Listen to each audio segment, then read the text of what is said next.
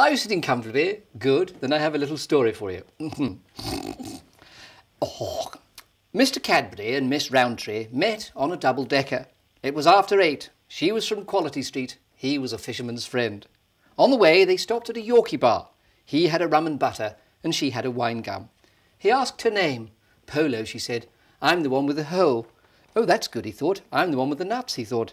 Then he touched her Milky Way. They checked in at a hotel and went straight to the bedroom. Mr. Cadbury turned out the lights for a bit of black magic. It wasn't long before he slipped his hand into her Snickers and felt her cream egg.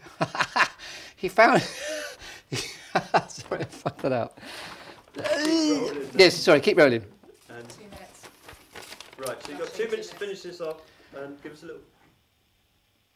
And now, if you're sitting comfortably, a story. ah, Mr. Cadbury and Miss Rowntree met on a double-decker. It was after eight. She was from Quality Street and he was a fisherman's friend. On the way, they stopped off at a Yorkie bar. He had a rum and butter and she had a wine gum. He asked her her name. Polo, she said. I'm the one with the hole. Ooh, I'm the one with the nuts, he thought. How lucky. Then he touched her Milky Way.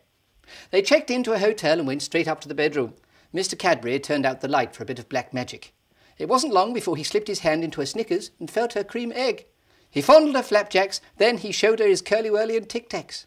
Miss Rowntree wasn't keen to have jelly babies, so she let him take a trip, as she would, down Bournville Boulevard via her party rig. He was pleased, as he always fancied a bit of fudge. It was a magic moment as she let out a scream of Turkish delight. When he pulled out, his fun-sized Mars bar felt a bit crunchy. She wanted more, but he needed time out. However, he noticed her pink wafers looked very appetising, so he did a twirl, had a picnic in her shepherd and finished off by giving her a cough stopper.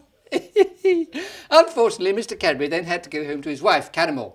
Sadly, he was soon to discover that he had VD. That's because Miss Roundy, it turned out, had been with Bertie Bassett, and he had all sorts. Cute.